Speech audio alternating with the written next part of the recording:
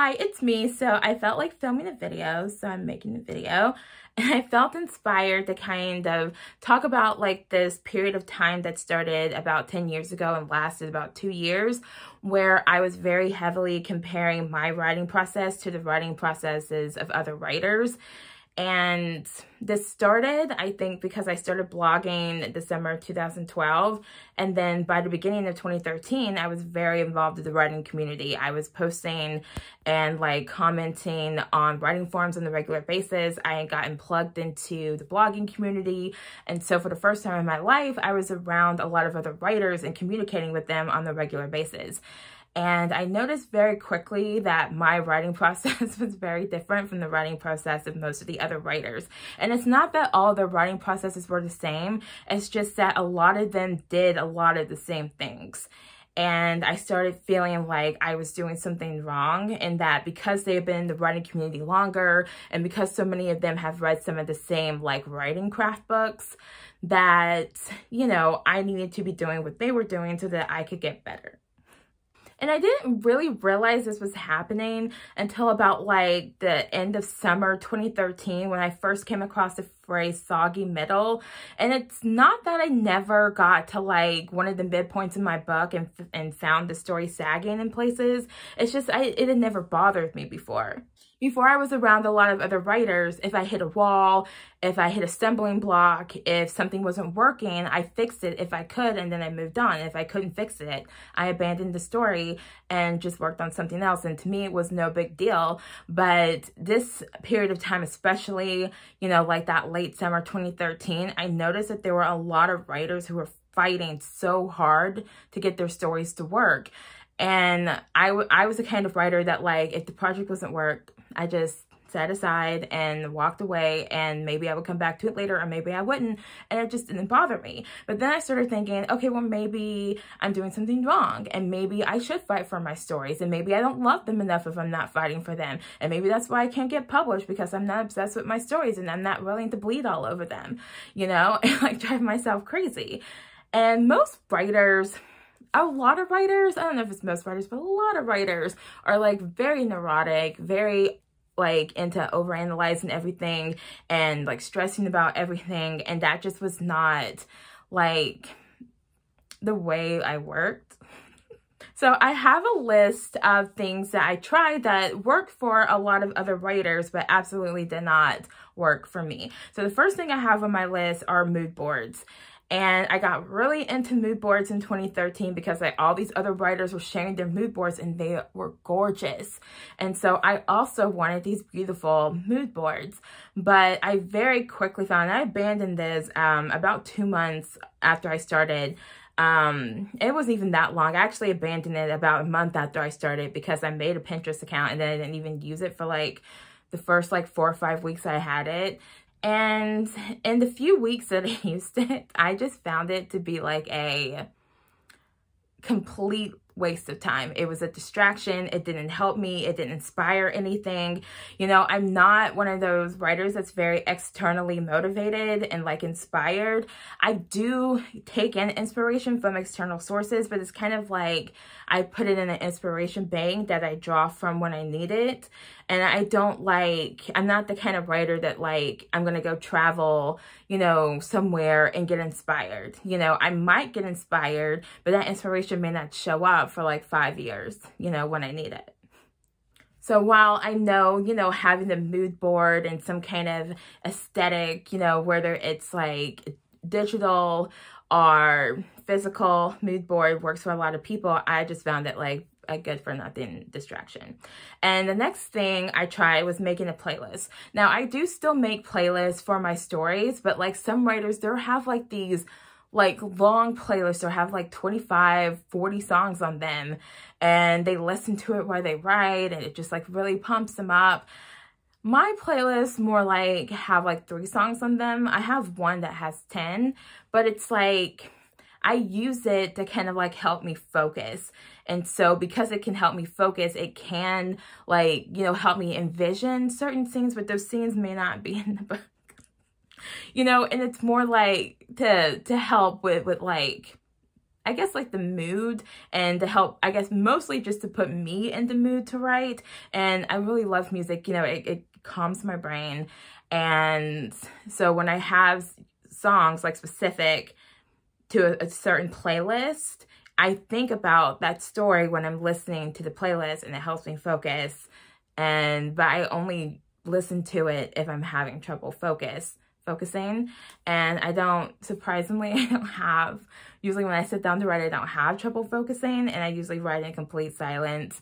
And if I do write to music I have to put the song on repeat and I just kind of like play it in the background.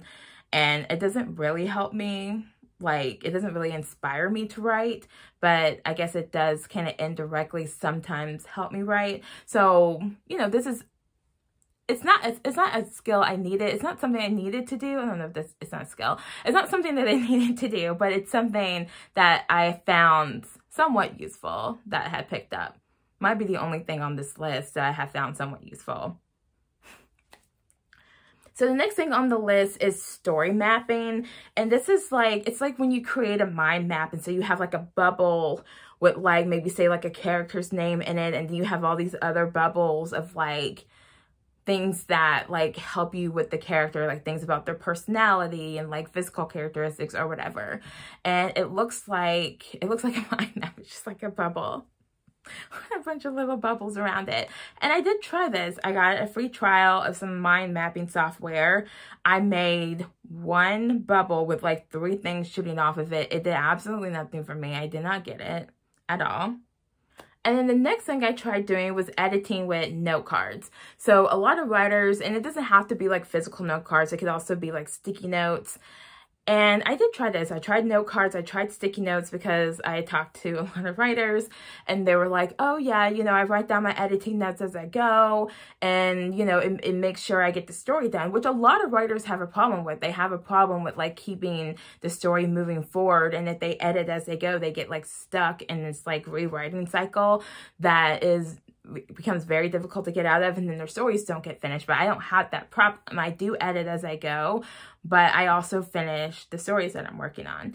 But i decided to try this to see if it would be more efficient you know so if i'm on chapter like you know 25 and then i realize there's something in chapter 13 that i want to change normally and what I do currently and what I was doing before I tried this short stint with doing um with like taking notes is that I would just go back and fix it you know I would go back and fix it I would go back and read over it you know, and I would often start my writing sessions with like a mini editing session and that worked really well for me. But I decided to try moving on and I put stuff on note cards and on sticky notes and sometimes in a notebook.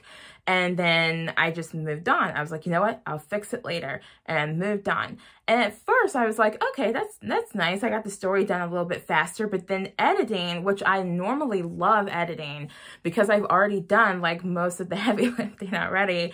And so editing is just like a treat. I get to see what I wrote. I get to like fix things and like make things better and smooth things out. And I just absolutely love editing and also just love writing as well. And this made editing painful for me because instead of getting to sit down and enjoy what I'm doing, I now have to sit down and fix things.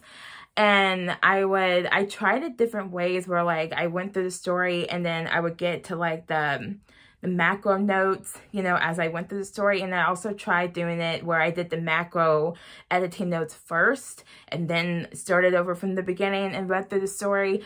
And either way, I just, I did not like it. It didn't help. I didn't feel better.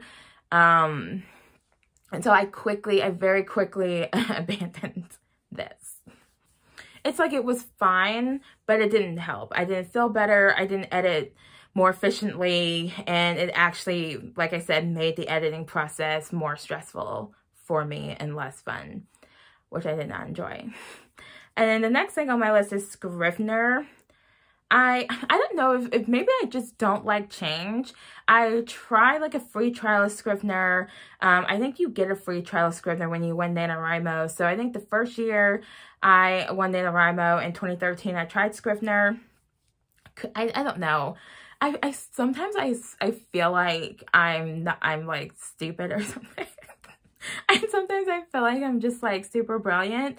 But the first time I tried to use Scrivener, I literally just like it made no sense to me and I, I didn't even, I barely tried.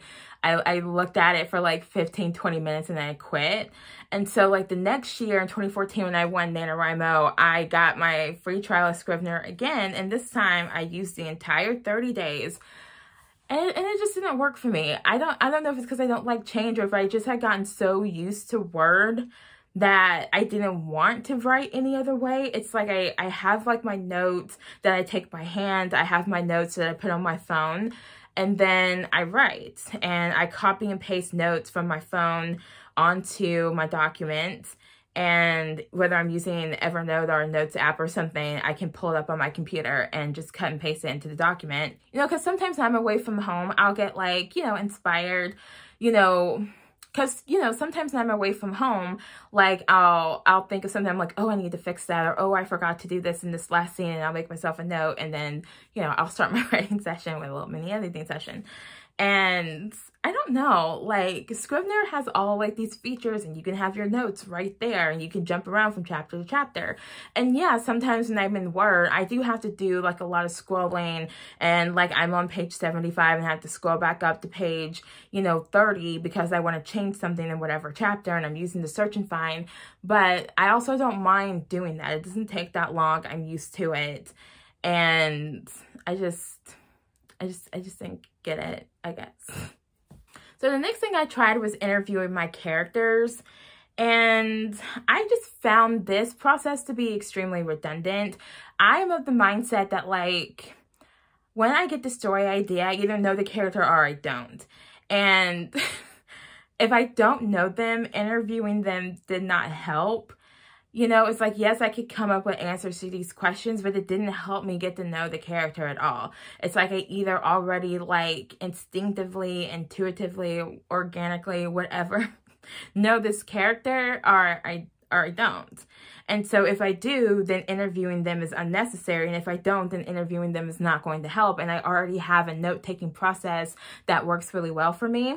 And I use that note-taking process so consistently that I've literally thought about like mass producing a notebook for myself because I would already have like, you know, the framework and then I would just be filling in the blanks. But I haven't done that yet. I did start um, kind of playing around with like like a design. And now that I've made a couple of planners and a couple of reading journals, I think I could actually make something that would work really well for me that I would enjoy using. And so I might try to do that. I really like my composition books, but you know, this was already, already had template and I think I would really enjoy that. But anyway.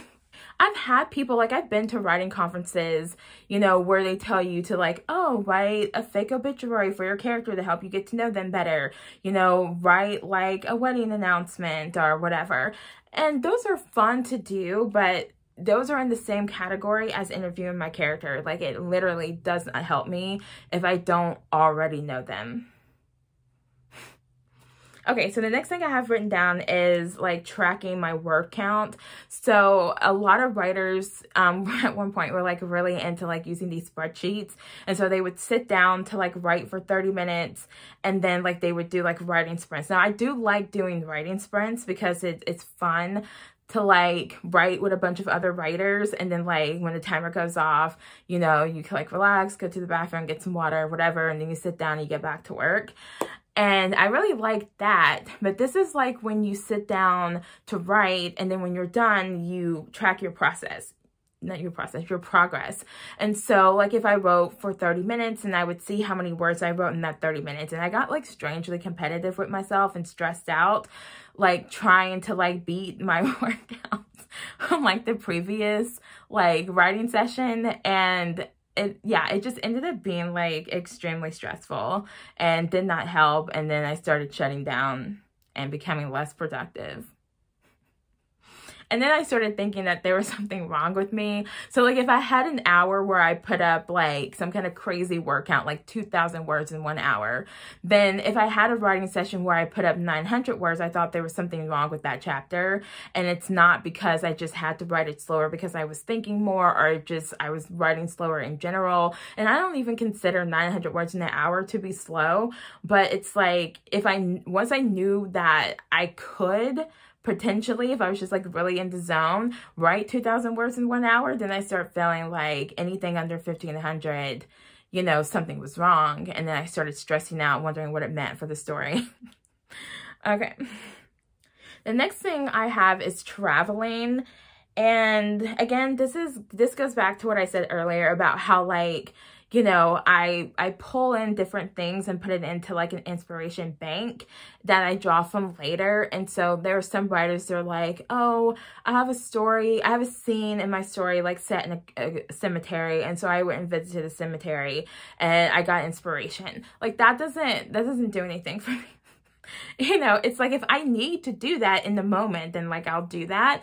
Because like recently in Ari's story, um, she was reading Dr. Jekyll and Mr. Hyde, and I had not read it. Now, I read the other books that she that she was reading in the story, but I hadn't read that, and so I went and looked it up, saw that it was actually pretty short.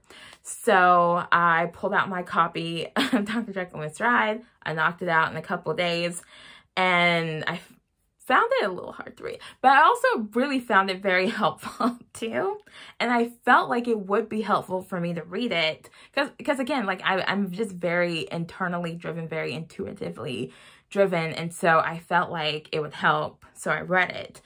Okay. If the blocking looks a little different, my phone cut off on me. So but I think I finished my last point that I was talking about, about traveling, which brings me to the last thing I wanted to mention, which, which is related to the traveling, and that's research.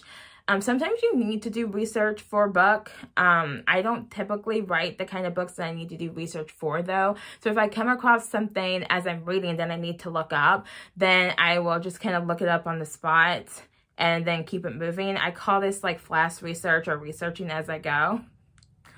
But there are some writers, you know, who are like, which brings me back to that like cemetery example where they want to very specifically like go to a cemetery um, for the explicit purpose of like drawing inspiration and like, you know, looking at how the cemeteries are laid out and things of that nature. I'm more like, again, like drawing from that inspiration bank and, and like memory of like times I've been in the cemetery and just like using the knowledge that I already have rather than purposely going out and getting more information that I may or may not need in the story. And so I will give you an example. I was writing, I was working on this book years ago and there was like flashbacks that took place like 500 years prior to like the rest of the story. And so the amount of research I had to do just to have like these like five scenes set in the past was was horrendous. It was horrendous. And I wish I had just waited until I got to this past scenes to see what I actually needed because I actually abandoned the project because of it. And this is exactly why I don't do research ahead of time because I don't know what I'm going to need. And so like it was set in like um 16th century Portugal and like the scenes. And so I got, um, I, because I knew those scenes were coming up, I started looking up, okay, like what was the typical dress? Who is the king of England? Did Port, did, did Portugal have its own king or did they report to the king of another country? You know, and what did the, you know, nobility system look like? And what did they typically eat? And, you know, like the character, um, like the, the focal character for those past scenes, you know, it was a very wealthy family and I didn't really understand like those dynamics. And I just fell into this research hole. I remember I was sitting at the top of the stairs because I was in my townhouse at the time. And one of my neighbors was like cleaning and she, she could be a little loud when she was cleaning. It didn't last forever, so I didn't like pitch a fit about it.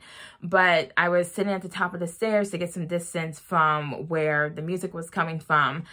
And I was up there the entire time she was cleaning, which was about an hour. Plus like another like 20 or 30 minutes just like looking up stuff. And that was just one session. And I had like multiple sessions like that of me trying to figure out all this random stuff. And I realized, you know, later, like after I abandoned that project because, because the amount of research just for those things was just really overwhelming, um, that I should have just treated those like past scenes the same way I treat everything else. It's like, it's probably not going to be the most historically accurate thing, but it also would have kept the story moving. And yeah. So basically my point is doing research ahead of time, while it may work for a lot of other people, may be necessary for other people for what, you know, specific stories, um, it doesn't work for me. Okay, so that's all I'm going to say in this video. And yeah.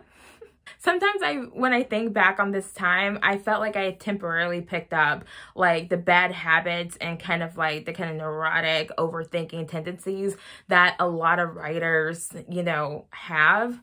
And I'm thankful that I, that those things were off. And I'm very thankful that I have gotten back to like what is normal for me because apparently the only like writing process that really works for me is what I naturally do on my own. And thankfully, you don't have to be a rocket scientist or Einstein to figure that out because I'm clearly not Einstein or a rocket scientist. Okay, so that's all I have to say for today. If you can relate, let me know. If you have picked up some other writer's bad habits, you know, feel free to vent and the, the comment section. And I will see you guys in the next video. And also, if you like this video, feel free to let me know. and I will see you guys later. Bye.